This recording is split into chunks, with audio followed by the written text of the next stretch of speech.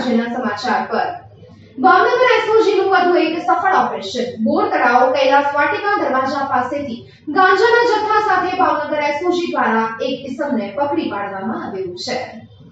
Bhavnagar SOG શાખાના police inspector કેબી જાડેજાની રાહબરી નીચે ભાવનગર એસઓજી પોલીસની ટીમને મળેલી બાતમી હકીકત આધારે આરોપી શ્યામકુમાર અવધ કિશોર ઝાલા, ઉંમર વર્ષ ચોવીસ, રહેવાસી મૂળ બત્રીસ અવધ શ્રી બંગલોઝ તુલસી સોસાયટીની પાછળ મહુવા જિલ્લો ભાવનગર, હાલ પ્લોટ નંબર છ.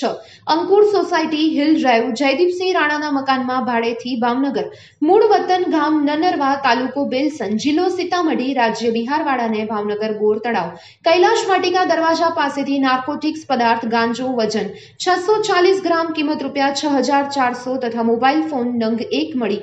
કુલ કિંમત રૂપિયા સાત હજાર ચારસો વીસના મુદ્દામાલ સાથે ઝડપી પાડવામાં આવ્યો છે અને મજકૂર આરોપી સામે એનડીપીએસ એક્ટ તળે કાયદેસરની કાર્યવાહી, એસઓજીના એએસઆઈ જગદીશભાઈ મારુએ ફરિયાદ બોર તળાવ પોલીસ સ્ટેશનમાં ગુનો રજિસ્ટર કરાવેલો છે.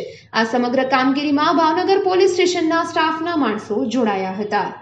Report by Ejaz Shaikh, Bhavnagar.